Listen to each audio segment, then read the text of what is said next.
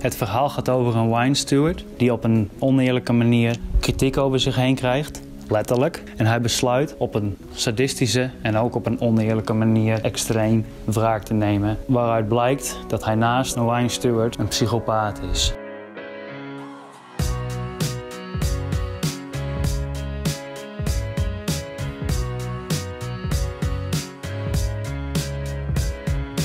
Toen we ons genre, prop, een zin en een karakter hadden gekregen, ben ik samen met Paras aan de slag gegaan. Paras heeft het verhaal bedacht en uh, toen we er samen uiteindelijk uit waren, ben ik begonnen met schrijven.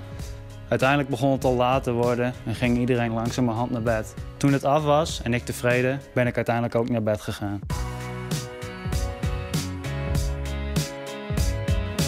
Mijn naam is Almar van Dijk. Ik ben uh, cinematograaf geweest voor het, uh, voor het Our Film Project team Trojans. Ik ben zaterdagochtend begonnen met uh, samen met de regisseur een storyboard maken. De regisseur die had bepaalde shots in gedachten en die heeft die overgebracht op mij uh, met behulp van een storyboard. Die heeft daar getekend. Uh, nadat de shots duidelijk waren voor mij, ben ik gaan nadenken over wat voor belichting ik wil voor de shots.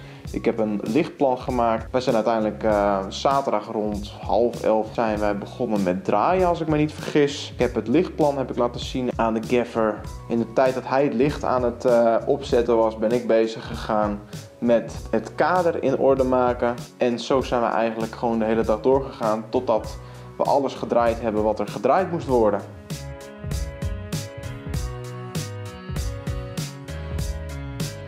Uh, we gaan een scène doen waar de dokter die gaat uh, een spuit, medicijn, nou wat vergif, wat vergif doen.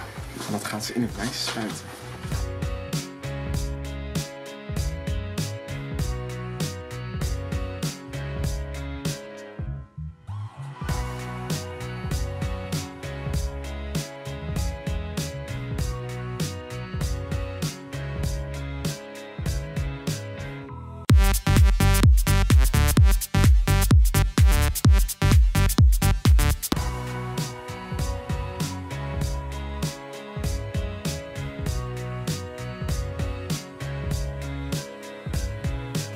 Uh, wat vond ik van de ervaring? Ja, ik vond eigenlijk dat het allemaal heel erg goed liep. Uh, ons team werkte echt als een geoliede machine samen. Het ging hartstikke goed.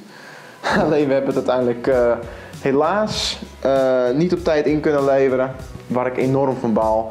Maar al met al een mooi product neergezet vind ik. En het was verder ook een topervaring.